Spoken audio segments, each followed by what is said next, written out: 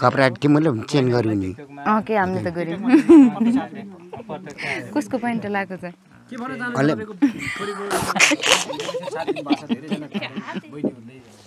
Change गर्दाखेरि भित्र साफ पनि गर्यो के? ए बाजे। होइन त्यो त चेन्ज गर्दाखेरि गनायो भयो होला होइन। के? साफ गर्यो होला नि। टाउको धेरैजना भाइरल हुनुहुन्छ के होला कुन भाइरलको रोल कस्तो होला के होला त्यसकोमा जिज्ञासा हुनुहुन्छ गनान्छ कि भिडियो हेरेपछि चाहिँ झन् रमाइलो लाग्छ मैले पैसा कहाँ हालेँ पैसा के क- कगजको पोइन्ट लगाइन्छ के गरिन्छ बाटैमा जान्छ बाघ कता जान्छ? त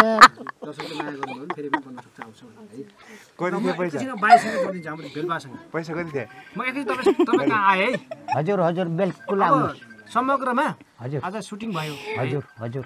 कि बहिनीले गीत गाएको उहाँले सरले गीत गाएको। हजुर होइन? हजुर। तपाईँको मनमा के कुरा छ? तपाईँले के भन्न चाहनुहुन्छ यो होइन? मेरो मनमा त केही कुरो छैन। अनि यहाँले नयाँ गीत निकालेको स्थितिले हामीले सुन्यौँ। होइन? यस्ता भर्खर चौध पन्ध्र वर्ष पुगेको केटीले गीत हामीले धन्यवाद गरेछौँ।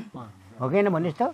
र आफ्नो दिमागको गीत हानेर अब त्यो अलिक ठुलो बुढो मान्छे छ भने दिमाग छ भने त्यसलाई गिटाएर भाइरल हुन सक्दैन र।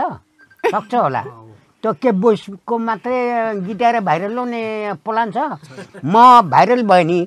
म एउटा बोइस सुन्थ्यो भने मैले के के लिला गर्थेँ? मर्ने बेला हर्रो काँक्रो। तर मर्ने बेला बुढेसकालमा भाइरल भइयो। अब मर्ने बेला भाइरल भएर के दाउरो गर्ने? हेर्नुहोस् है।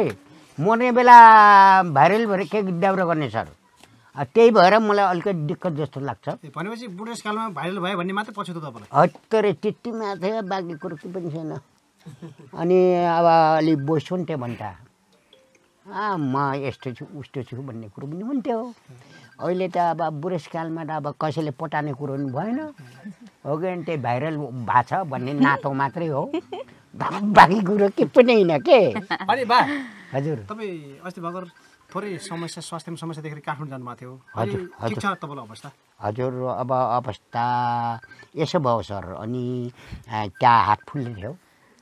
गाला यिनी पुरै फुल्ने थियो अनि मेरो पेटको रोग पनि थिएन। छैन होला। भनेपछि अहिले समग्रमा तपाईँ ठिक हुनुभएको छ? लगभग एक सर पनि खिचाइदियो। तपाईँको भित्र रोग छैन। रोक्सी बिल्कुल नखानुहोस्। र तपाईँले अनि जाइ पनि यही बहिरको समस्या मात्रै हो।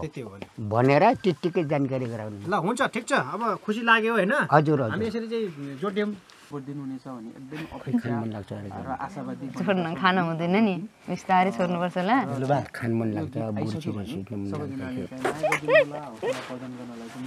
त्यस्तो बोल्नु हुँदैन कि बाजे? के